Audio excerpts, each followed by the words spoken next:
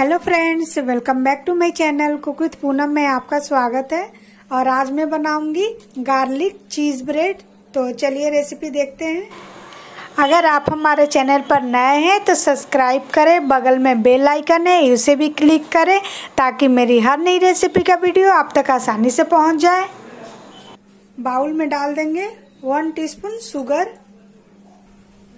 इसमें ऐड करेंगे yeast yeast मैंने हाफ़ टी स्पून से थोड़ा सा ज़्यादा ही लिया है। इसमें ऐड करेंगे मिल्क। मिल्क थोड़ा सा वार्म होना चाहिए, यानी गर्म होना चाहिए। इसमें मैंने हाफ़ कप दूध डाला है।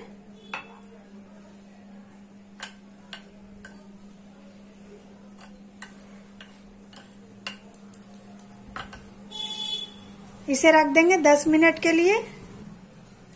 बाउल में डालेंगे पर्पस फ्लावर यानी मैदा एक कप और हाफ़ कप। और इसे छान लेंगे। मैंने यहाँ पे 250 ग्राम मैदा लिया है।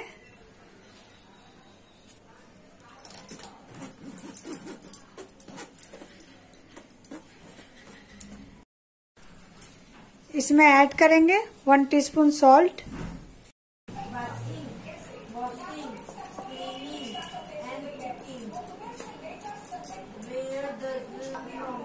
दस मिनट हो चुका है, इसमें डाल देंगे एक्टिविस्ट। इसमें ऐड करेंगे मिल्क। आप चाहें तो दूध की जगह पानी का भी यूज़ कर सकते हैं। और इसका एक डो रेडी करेंगे।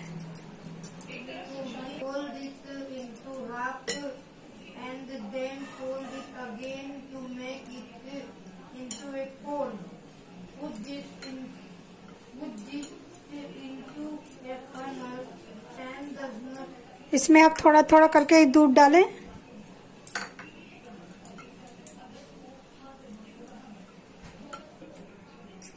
डो रेडी हो गया है।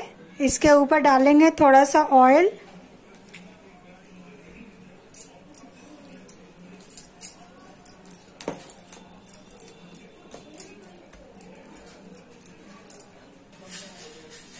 डो को गीले कपड़े से ढक के आधे घंटे के लिए रख देंगे। थर्टी मिनट्स हो चुका है और ये अपने साइज़ से डबल हो चुका है।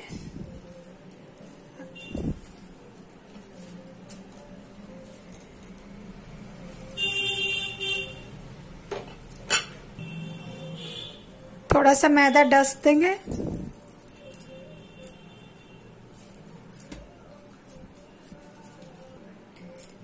इसमें ऐड करेंगे वन टीस्पून बटर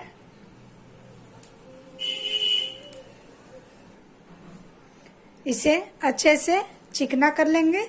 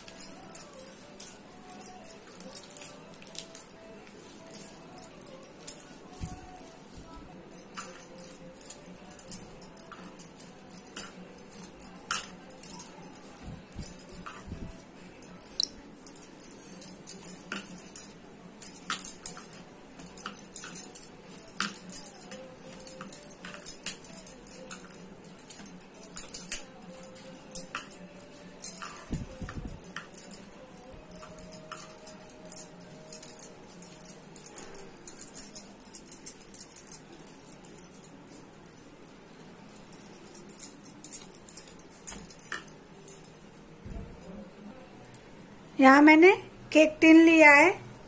इसमें बटर लगा देंगे।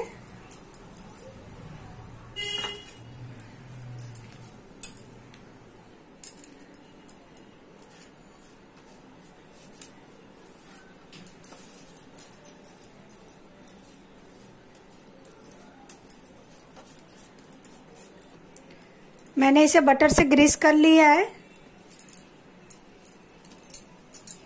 अब इसमें डो को रख देंगे। और इसे ढक के रख देंगे गरम जगह पे एक घंटा के लिए, या तब तक, जब तक कि ये अपने साइज़ से डबल ना हो जाए। इसके ऊपर ऑयल से ग्रीस कर देंगे। मैंने इसे एक घंटे के लिए रख दिया था, और ये फूल कर अपने साइज़ से डबल हो गया है। इसके ऊपर बटर से ग्रीस कर देंगे।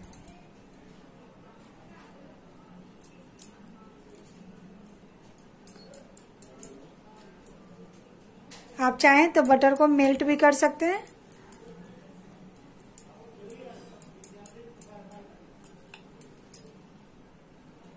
मैंने इसके ऊपर बटर लगा दिया है। अब इसे बेक करते हैं। इसे कढ़ाई में बेक करेंगे। तो यहाँ पे मैंने नमक डाला है। इसके ऊपर स्टैंड कढ़ाई को 10 मिनट के लिए प्रीहीट कर लेंगे।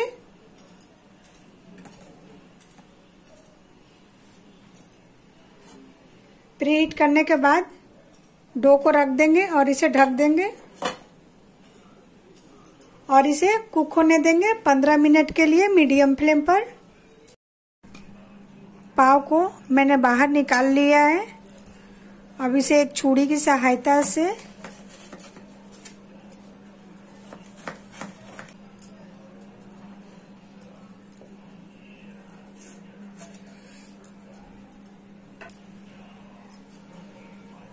यहाँ पर मैंने बाउल में बटर लिया है। इसमें ऐड कर देंगे फाइन चॉप गार्लिक।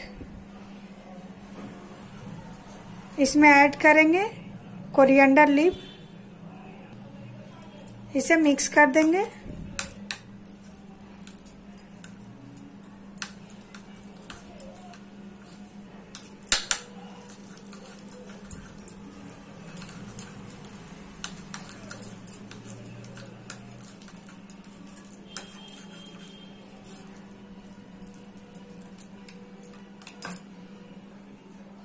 पाव को कट कर देंगे।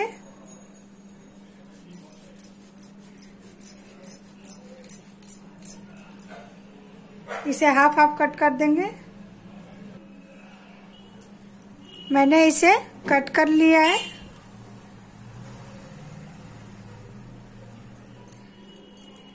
अब इसके अंदर बटर और गार्लिक को भर देंगे।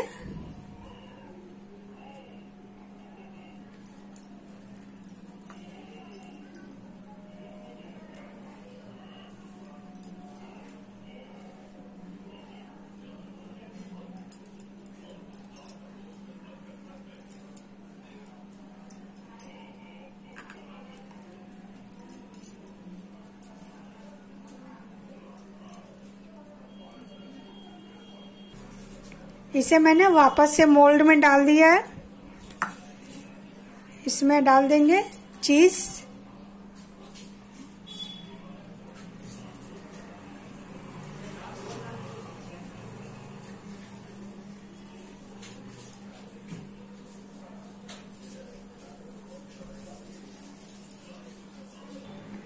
इसे वापस से 10 मिनट के लिए बेक कर लेंगे। आप चाहें तो इसे ओवन में भी बेक कर सकते हैं। इसके ऊपर ऐड करेंगे चिली फ्लेक्स।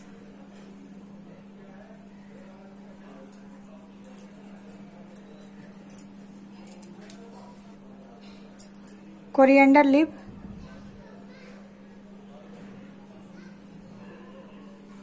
अब इसे बेक करते हैं।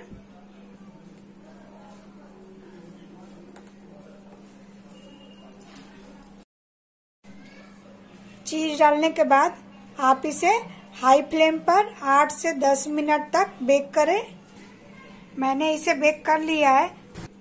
और आपको गार्लिक चीज़ ब्रेड की रेसिपी पसंद आए तो प्लीज़ लाइक, सब्सक्राइब और शेयर ज़रूर करें।